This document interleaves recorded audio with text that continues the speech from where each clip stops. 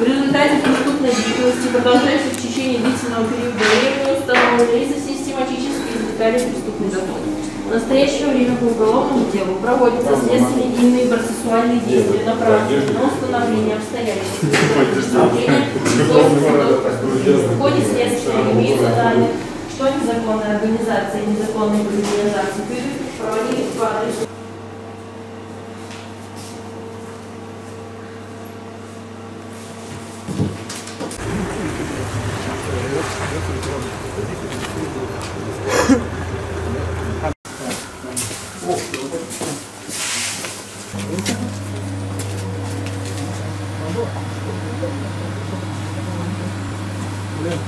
Ребят, пойдем завтра.